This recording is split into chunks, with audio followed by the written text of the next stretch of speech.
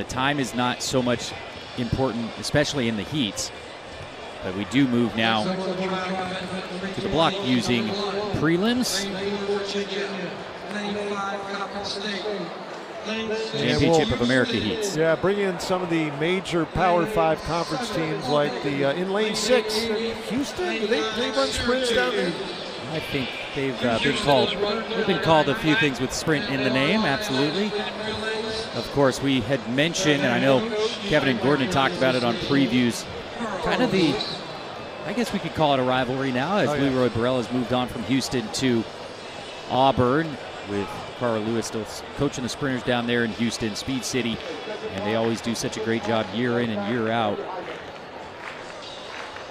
of producing great great sprinters and great relay teams as well. I'm trying to see if Shaun Maswanganyi is out there. I believe he is. The South African Olympian is the double champion for the Cougars indoors, 60 and 200 at the American Conference Championships. You see him there in the red on the left of your screen is Coppin State and Virginia lining up as well. But Shaun Maswanganyi, who's run 10-0, is definitely the firecracker of this Houston team. So, uh, not that there's a lot of time to do any uh, scoreboard watching, but again, Houston in the first heat throwing down probably a pretty solid number for everybody else to say, okay, they get, if, if they win, they get the auto qualifier, but uh, let, let's see how they fare time wise around around this oval in the rain with a little bit of a breeze. And you want to talk about history. Houston has won the last three relays, of course. Like you said, that two year hiatus. So they won in 2022 and then 19 and 18. Get this, also won back in 89 and before that, 1980. And that team was anchored by none other than King Carl. So a lot of history here, and it's so cool to see the athletes progress. Of course, Carl Lewis was busy in between, you know, running in 1980 and coaching now. He's doing a few other things like winning nine Olympic gold medals, but it's cool to see them come full circle. All right, and currently the uh, uh, Houston Cougars at 39 flat, number two of the uh, entries in the Championship of America heats.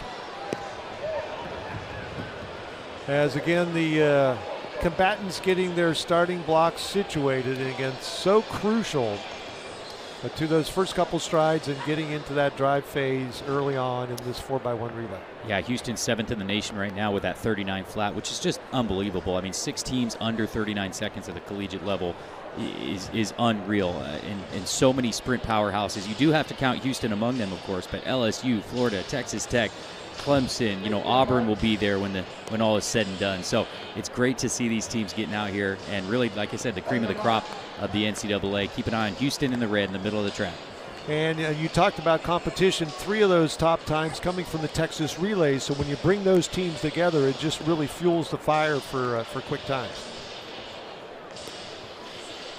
Again, keep an eye on Shaun Maswanganyi, the South African Olympian for Houston on the final leg. He's run 10.01 and 20.41 this season. And set. And we're underway. Virginia, Coppin State, Houston, Albany, Navy, and Syracuse. The Big Orange on the outside in lane nine. And Houston, a good, solid pass They right in the do. middle. Not low, not high, right in the middle, and going down the back straight. It is Houston and Albany. The Great Danes are faring fairly well through 200. But it is the Cougars now on the inside taking over this heat. And there's the stick to Shaun Maswanganyi. You see the C on his chest, the captain for the Cougars, making light work of this one. Through the line, they're in the 39s. An appreciative response from the crowd. Yeah, they were third at Nationals last year, and they'll look to uh, mix it up among the best in the nation again this year, and this is a good step in the right direction. Carl Lewis' squad takes the win. So it's sort of like a trial balloon, maybe for Don't count out these Jamaican colleges. We see so many of them come, so the Jamaicans come to the U.S. and utilize the great NCAA system, of course, for track, but also for a great education. But it's cool to see the collegiate level as well for these Jamaican teams. Look, any level, the Jamaicans are going to show up. Absolutely. So again, the focus right there on UWI Mona in lane four, the one of two Jamaican teams in this section.